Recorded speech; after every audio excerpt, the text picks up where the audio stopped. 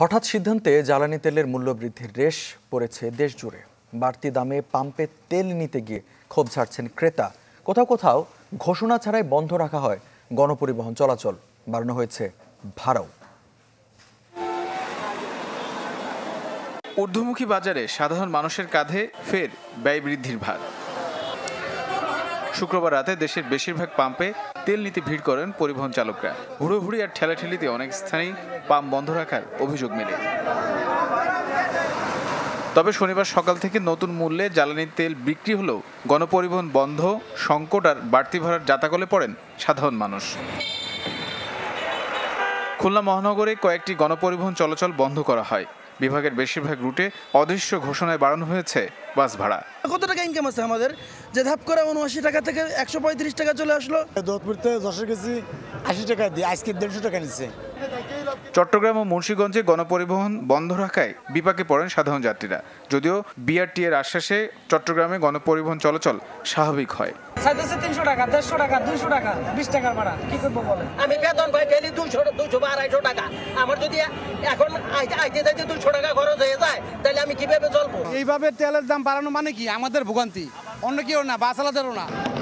বরিশালের কয়েকটি রুটে পঞ্চাশ থেকে একশো টাকার বেশি বাড়ানো হয়েছে বাস ভাড়া। যেহেতু তেলের প্রতি লিটারে চৌত্রিশ টাকা বাড়ছে ঠিক আছে? সরকার যেখানে সাবসিডি দিতে পারতেছে না আমরা কীভাবে সাবসিডি দেব? রংপুরের পাম্পগুলোতে নির্ধারিত বাড়তি মূল্যে বিক্রি হচ্ছে জ্বালানি তেল। মূল্য বৃদ্ধির অজুহাতে দূরপাল্লা সহ সব রুটে বাড়ানো হয়েছে ভাড়া। তবে রাজশাহীতে নতুন দামে জ্বালানি তেল বিক্রি হচ্ছে ঠিকই বাস ভাড়া বাড়ানোর খবর এখনও মেলেনি। সিলেটের পাম্পগুলোতে তেলের সরবরাহ স্বাভাবিক থাকলেও ঘাটতির বুলি মালিকপক্ষের। ময়মনসিংহে স্বাভাবিক রয়েছে পরিস্থিতি।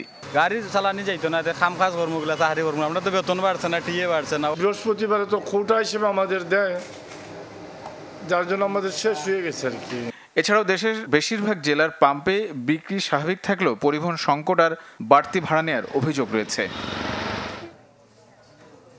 জ্বালানি তেলের দাম বাড়ার পর বৈঠকে বসেছে বাস মালিক সমিতি। এ বিষয়ে আরও জানাতে আমাদের সাথে যোগ দিচ্ছেন সহকর্মী স্বপ্নিল শাহরিয়ার শিশির। শিশির সঞ্জু, গতকাল রাতেই এই যে নতুন করে যে জ্বালানির যে মূল্য, সেটি কিন্তু নতুন কার্যকর হয়েছে এবং এই জ্বালানির মূল্য, নতুন মূল্য কার্যকর হওয়ার পর থেকে কিন্তু যারা পরিবহন মালিক রয়েছেন, তারা কিন্তু ভাড়া বাড়ানোর একটি দাবি জানিয়েছেন। সেই ভাড়া বাড়ানোর দাবির প্রেক্ষিতেই এই বিআরটিএ কার্যালয় রাজধানীর বনানীতে সেই সভাটি কিছুক্ষণ আগে পনেরো মিনিট আগে শুরু হয়েছে এবং এখানে আমরা দেখতে পাচ্ছি যে বিআরটি এর চেয়ারম্যান যেরকম রয়েছেন, সেরকম বিআরটি সংশ্লিষ্ট বিভিন্ন কর্মকর্তারা রয়েছেন সড়ক ও মহাসড়ক বিভাগের সচিব এবং পরিবহন মালিক নেতারা এবং কনজিউমার অ্যাসোসিয়েশন অব বাংলাদেশ ক্যাবের নেতারা যারা রয়েছেন, তারাও কিন্তু এখানে বৈঠকে বসেছেন। এবং এই বৈঠক আসলে ঠিক কতক্ষণ চলবে সেটা এখনও নিশ্চিত করে বলা যাচ্ছে না, তবে এখান থেকে একটি সিদ্ধান্ত আসবে এবং যে নতুন করে ভাড়া যে কত বাড়তে পারে সেই বিষয়ে তার একটি সিদ্ধান্ত আসবেন এবং সেই সিদ্ধান্তের প্রেক্ষিতে কিন্তু নতুন করে সরকার সমন্বয় করে নতুন ভাড়া নির্ধারণ করবেন, এরকমটাই কিন্তু আমরা জানতে পেরেছি।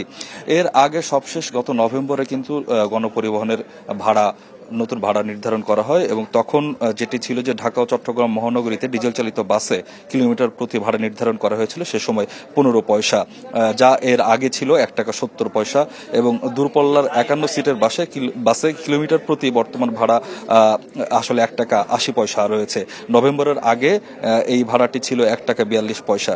তবে দেখা যাচ্ছে যে অনেক ক্ষেত্রে দেখা গেছে যে দূরপল্লার অনেক বাসই চল্লিশ সিটের, ফলে কিলোমিটার প্রতি দুই টাকা ত্রিশ পয়সা ভাড়া গুনতে হয় যাত্রী প্রার্থীদের তো, এই বৈঠকটা আসলে এখনও চলছে এবং কি সিদ্ধান্ত হয় সেটা আমরা বৈঠকের পরে আমাদেরকে ব্রিফ করা হবে আনুষ্ঠানিকভাবে।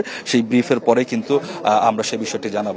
তো, যখনই আমরা সেই নতুন করে কি সিদ্ধান্ত নিলেন আসলে যে বিভিন্ন পক্ষরা যারা রয়েছেন সেই তথ্যটি যখন আমাদেরকে জানাবে নিশ্চয়ই সেটি আমরা দর্শকদেরকে জানিয়ে দেব। রঞ্জু। স্বপ্নিল সাহের শিশির, আপনাকে ধন্যবাদ। দর্শক রাজধানী বনানীতে বাস মালিক সমিতির বৈঠক চলছে। সেই খবর জানাচ্ছিলেন সহকর্মী স্বপ্নিল শাহরিয়ার শিশির। এছাড়া জ্বালানি তেলের দাম বৃদ্ধির প্রভাব দেশের বিভিন্ন স্থানে কতটা পড়ল সেই খবর জেনে নেব আমাদের সহকর্মীদের কাছ থেকে। শুরুতে চলে যাব মুন্সীগঞ্জে, সেখানে গণপরিবহন বন্ধ রয়েছে আজকে সকাল থেকেই। বিষয়ে শুভ ঘোষের কাছ থেকে জেনে নেব সেখানকার সবশেষ পরিস্থিতি।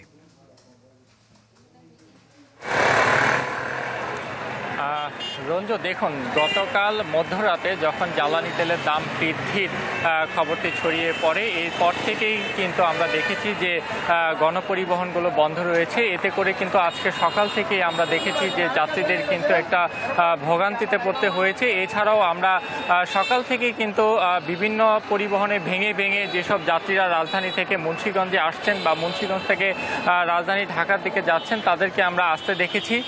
তবে যেসব গণপরিবহন বন্ধ রয়েছে। সেসব গণপরিবহনের চালক এবং বাস মালিক এবং চালকদের সাথে কিন্তু আমরা কথা বলেছি। তারা যেটি বলছেন যে জ্বালানি তেলের যে দাম বৃদ্ধি করা হয়েছে, এতে করে কিন্তু নতুন করে ভাড়া নির্ধারণ করে দেওয়া হয়নি।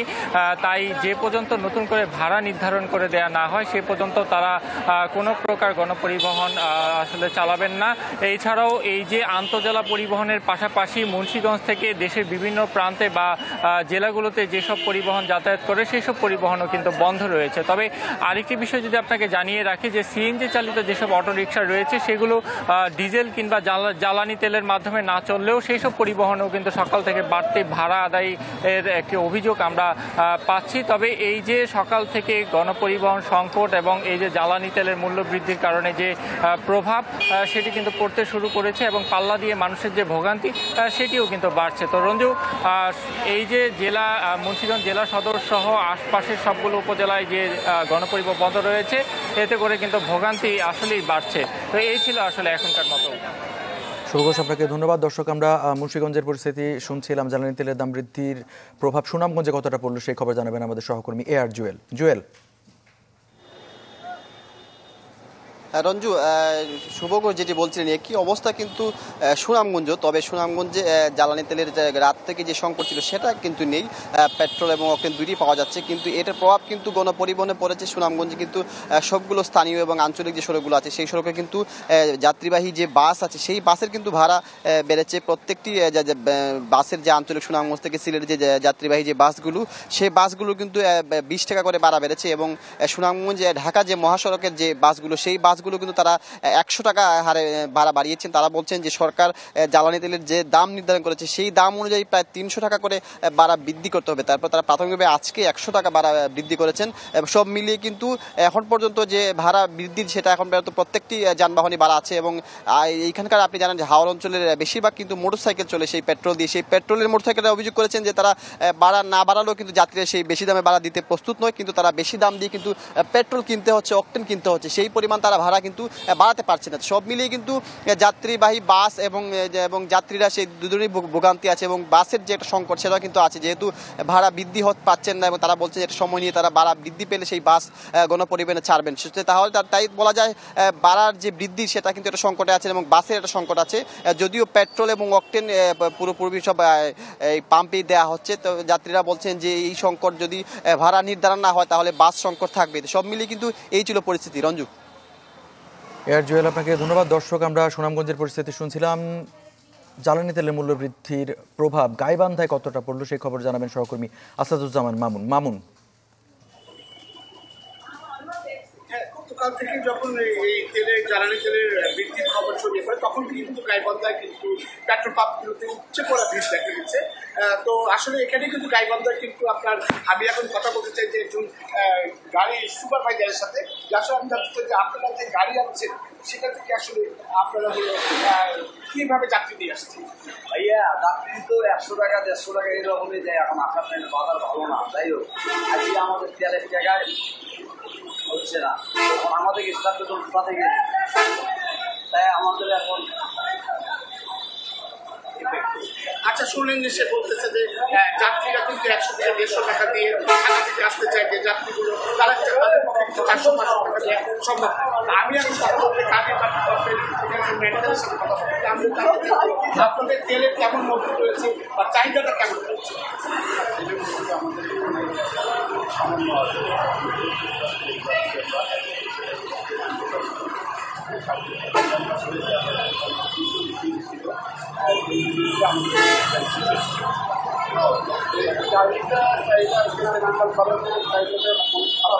আচ্ছা শুনলেন যে চাহিদা কিন্তু তাদের রয়েছে এবং মজুদ প্রায় শেষের দিকে রয়েছে। তবে গাইবান্ধার যে সমস্ত বাসগুলো আলতো জেলা এবং ঢাকার দিকে যাচ্ছে, তারা কিন্তু অলরেডি পঞ্চাশ টাকা করে বৃদ্ধি ভাড়া বৃদ্ধি করেছে। এই ছিল এখনকার মতো গাইবান্ধার সর্বশেষ খবর। আসুজ্জামান মামুন, আপনাকে ধন্যবাদ। দর্শক, আমরা গাইবান্ধার পরিস্থিতি শুনছিলাম। জ্বালানি তেল বৃদ্ধির ফলে বরিশালে কি ধরনের প্রভাব পড়ল সেই খবর জানাবেন সহকর্মী কাউসার হোসেন রানা। রানা। হ্যাঁ আসলে তেলের দাম বৃদ্ধির পর সবথেকে বেশি যে প্রভাবটি পড়ে এবং দ্রুত, অর্থাৎ প্রত্যক্ষভাবে সাথে সাথে যে প্রভাবটি পড়ে সেটি কিন্তু যানবাহনে এবং পরিবহনে। এবং সেই প্রভাবটি কিন্তু আমরা গতকাল রাত থেকেই দেখেছি, কারণ এই ঘটনা যখন প্রকাশ পেল ঘোষণাটি যখন জানতে পারল, সাথে সাথে বরিশালের যত পাম্পগুলো রয়েছে, সবগুলোতে কিন্তু মোটর বাইক বলেন, অন্যান্য যানবাহন বলেন, তারা কিন্তু তেল নেয়ার জন্য ভিড় জমায়। এবং আজকে সকালে আমরা যখন বিভিন্ন পাম্পে গিয়েছি, তখন কিন্তু দেখেছি যে যানবাহনের চাপ কিন্তু অন্যান্য দিনের থেকে অনেক কমে গেছে, কারণ অনেকেই তেল আর বেশি দামে আজকে নেওয়া থেকে কিছুটা বিরত ছিল এবং আমরা বড় বড় বাস যেগুলো, সেগুলোকে দেখেছি। যে তারা অন্যান্য সময় যে পরিমাণ তেল নিত, তার থেকে কিছুটা কম তেল নিয়েছে। এবং আমরা এখন এই মুহূর্তে আছি বরিশাল বরিশালের নগরের কেন্দ্রীয় নতুলাবাদ বাস টার্মিনালে। সেখানে আজকে সকাল থেকে আমরা এখানে আছি এবং সেখানে দেখতে পেয়েছি যে বরিশাল থেকে যে বাসগুলো বিভিন্ন রুটে ছাড়া হয়, সেই রুটের কিন্তু বাসের সংখ্যা কিছুটা কমিয়ে দেওয়া হয়েছে। বিশেষ করে দূরপাল্লার যে বাসগুলো, বরিশাল থেকে ঢাকাগামী যে বাসগুলো রয়েছে, সেই বাসগুলোর ট্রিপের যে সংখ্যা ট্রিপের সংখ্যা কিন্তু কমিয়ে দেওয়া হয়েছে এবং আমরা বেশ কয়েকটি বাসের দেখেছি বরিশাল ঢাকা রুটের সাকুরা পরিবহনে পঞ্চাশ টাকা করে ভাড়া বৃদ্ধি করা হয়েছে। বরিশাল থেকে যশোর গামী এম এম পরিবহনের একশো টাকা করে ভাড়া বৃদ্ধি করা হয়েছে এবং অনেক বাসেরই কিন্তু এরকম বিশ টাকা থেকে পঞ্চাশ টাকা, একশো টাকার মধ্যে ভাড়া বৃদ্ধি করা হয়েছে। পাশাপাশি থ্রি হুইলার যেগুলো যে ডিজেলবাহী যে থ্রি হুইলারগুলো রয়েছে, সেই থ্রি হুইলারগুলোতেও কিন্তু ভাড়াগুলো বৃদ্ধি করা হয়েছে। কোথাও কোথাও টাকা থেকে ছয় টাকা এরকম ভাড়া কিন্তু তারা বৃদ্ধি করেছে। এসব বিষয়ে আমরা যেসব বাস পরিবহন তার ভাড়া বৃদ্ধি করেছে, তাদের সাথে যোগাযোগের চেষ্টা করেছি। তারা যেটি বলেছেন যে তাদের মালিক পক্ষ ভাড়া বৃদ্ধির জন্য নির্দেশ দিয়েছে এবং সেই মোতাবেক তারা ভাড়া বৃদ্ধি করেছে। আমরা এই বিষয়ে বাস মালিক গ্রুপের নেতৃবৃন্দের সাথে কথা বলেছি। তারা যেটি জানিয়েছে যে তারা মূলত আন্তঃজেলা যে বাসগুলো, সেগুলো তারা নিয়ন্ত্রণ করে, সেই বাসগুলো কিন্তু ভাড়া বৃদ্ধি করেনি এবং দূরপাল্লার যেগুলো, সেগুলোর মালিক আসলে বরিশালের না, তারা অন্য জায়গার বাস মালিক গ্রুপ, যার ফলে তাদের উপর তাদের নিয়ন্ত্রণ নেই। তবে তাদেরকে তারা অনুরোধ করেছেন যে সরকার যতক্ষণ পর্যন্ত ভাড়া নতুন করে নির্ধারণ না করছে, ততক্ষণ পর্যন্ত পূর্বের ভাড়া রাখতে। এছাড়া বরিশাল থেকে যে লঞ্চগুলো ছাড়া হয় অভ্যন্তরীণ রুটের যে লঞ্চ, সেগুলোরও পাঁচ টাকা থেকে দশ টাকা কিন্তু বাড়া বাড়ানো হয়েছে। অর্থাৎ এগুলো কিন্তু মৌখিকভাবে যে যার মতন ভাড়া নিচ্ছে। আর বরিশাল থেকে ঢাকাগামী যে বাস, লঞ্চগুলো রয়েছে, সেগুলোর বিষয়ে আগামী এগারো তারিখ বৈঠক রয়েছে। সেখানে নতুন করে ভাড়া কি হবে, সেই বিষয়ে সিদ্ধান্ত নেওয়া হবে। এই ছিল বরিশালের তেলের প্রভাব। কাউসার হোসেন রানা, আপনাকে ধন্যবাদ। ফেনীতে পনেরোশো লিটার চোরাই ডিজেল সহ তিনজনকে গ্রেপ্তার করেছে জেলা গোয়েন্দা পুলিশ। দুপুরে সংবাদ সম্মেলন করে এ তথ্য জানান পুলিশ সুপার মোহাম্মদ আবদুল্লাহ আল মামুন। জানান, গোপন তথ্যের ভিত্তিতে ফতেহপুর রেলওয়ে ওভারপাসের নিচে অবস্থান নেন। তারা এ সময় শশর্দি ইউনিয়নের দক্ষিণ খান থেকে ছেড়ে আসা একটি পিকআপ থামিয়ে নয় ড্রাম ভর্তি পনেরোশো লিটার চোরাই ডিজেল উদ্ধার করা হয়। গ্রেপ্তার করা হয় আবদুল্লাহ, আবু তাহের ও আব্দুর রহিমকে। প্রাথমিক জিজ্ঞাসাবাদে জানিয়েছেন, মালবাহী রেলের চালকের সাথে আতাত করে ডিজেল সংগ্রহ করেন তারা। এ ঘটনায় ফেনী মডেল থানায় মামলা হয়েছে।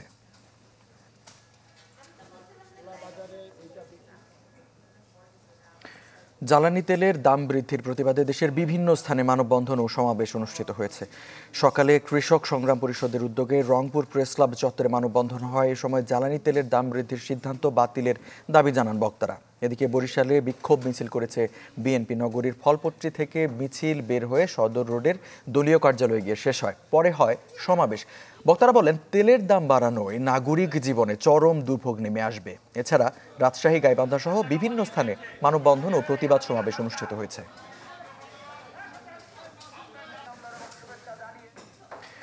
টাঙ্গাইল, ময়মনসিংহ মহাসড়ক পরিণত হচ্ছে অপরাধের অভয়ারণ্যে। এক যুগেরও বেশি সময় ধরে এই সড়কে চলন্ত বাসে ডাকাতি, ধর্ষণ ও খুনের বেশ কিছু ঘটনা ঘটছে। ইফতেখার অনুপমের তথ্য ও ছবিতে ডেস্ক রিপোর্ট। রাত নামলেই জনশূন্য এই সড়ক হয়ে পড়ে আরও ভুতুরে টাঙ্গাইল থেকে ময়মনসিংহ, একান্ন কিলোমিটার এই মহাসড়কে শুনশান নিরবতা, আশেপাশে নেই জনবসতি। গভীর বনাঞ্চল রয়েছে সড়কের দুধারে, আর এই সুযোগ লুফে নিচ্ছে অপরাধীরা। ঘাটাইলের পাহাড়ি বন পাশে ধলাপাড়া সাগরদিঘি সড়ক যে পথে বনাঞ্চল হয়ে যাওয়া যায় ঢাকা ও গাজীপুর। এছাড়া মধুপুর থেকে যাওয়া যায় জামালপুর নেত্রকোনা শেরপুর ও ময়মনসিংহ। আর মধুপুরেই আছে প্রায় নয় কিলোমিটার গভীর বনাঞ্চল। এই সমস্ত এরিয়াগুলোই দুষ্কৃতিকারীদের জন্য উপযুক্ত স্থান। এই রাস্তায় আগে যে পরিমাণ ইয়ে চালো তো মনে করেন রাত্রেবেলা গাড়ি খুব কম চলে। জেলা পুলিশের এক পরিসংখ্যানে জানা যায় গত ১৩ বছরে টাঙ্গাইল ময়মনসিংহ মহাসড়কে চলন্ত বাসে ডাকাতি হত্যা ও ধর্ষণের ঘটনা ঘটেছে বেশ কয়েকটি। স্থানীয়দের অভিযোগ পর্যাপ্ত পুলিশি টহলের অভাবে বাড়ছে অপরাধ। এই রাস্তার মধ্যে কোনো পুলিশি টহল কম। পুলিশি টহলের দরকার জোরদার করা উচিত। আরও আমাদের নিরাপত্তা চাই। যদি কিছু স্ট্রিট লাইট অথবা মানে সোলার প্যানেলে সংযুক্ত করা যায় তাহলে মনে হয় রাত্রে এই অনাকাঙ্ক্ষিত দুর্ঘটনাগুলো এড়াতে এড়ানো সম্ভব হবে। সম্প্রতি চলন্ত বাসে ডাকাতি ও ধর্ষণের পর মহাসড়কে নিরাপত্তা জোরদারে নতুন করে ভাবছে প্রশাসন। সিসি ক্যামেরা দিয়ে আসলে বাসের ভিতরের যাত্রীদের অবস্থা বোঝা যায় না দেখা যায় না।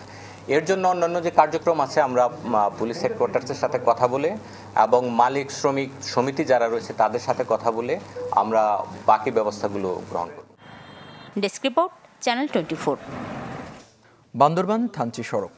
শতাধিক ঝুঁকিপূর্ণ বাঁকে কোথাও না কোথাও প্রায়ই ঘটছে দুর্ঘটনা। হতাহত হচ্ছে মানুষ।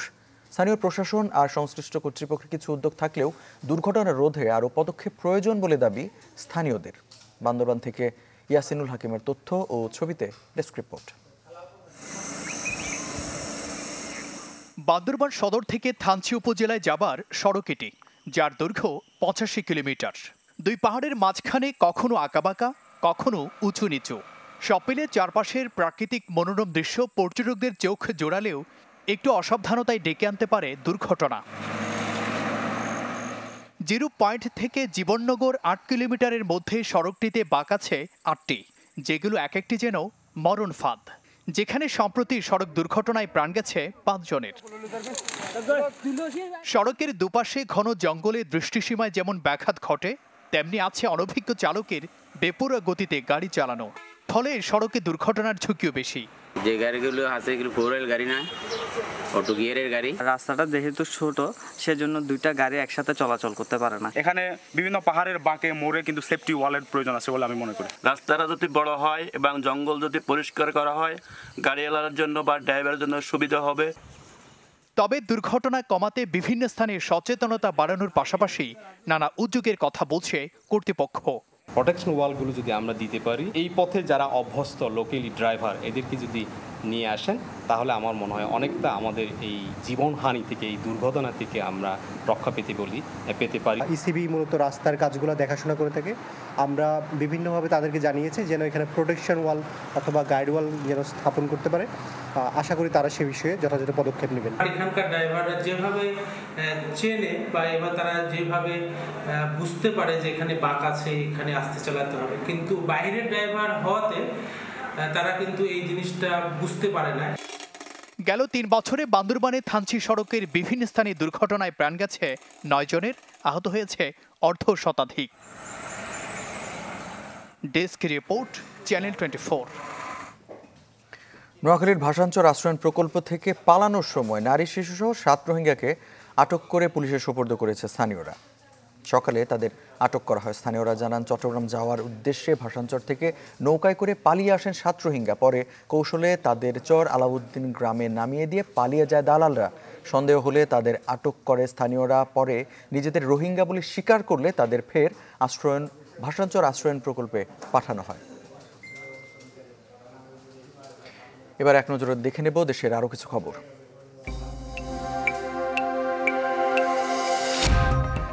জামালপুরে মেয়েকে ধর্ষণের অভিযোগে বাবাকে গ্রেপ্তার করেছে পুলিশ। এর আগে মামলা করেন ভুক্তভোগীর মা।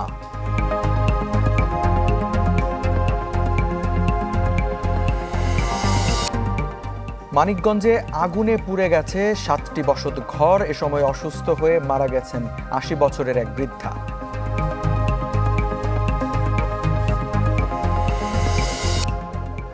দাম নিয়ন্ত্রণে হিলি স্থলবন্দর দিয়ে কাঁচামরিচ আমদানি শুরু হয়েছে। ভারত থেকে দুটি ট্রাকে পনেরো টন কাঁচামরিচ আমদানি হয়।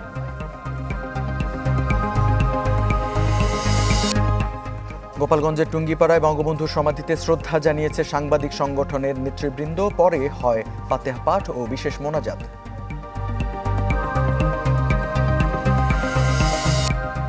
নেত্রকোনা আকস্মিক বন্যায় ক্ষতিগ্রস্তদের মাঝে খাদ্য সামগ্রী বিতরণ করা হয়েছে, চাল, ডাল, তেল সহ নানা সামগ্রী দেয়া হয়।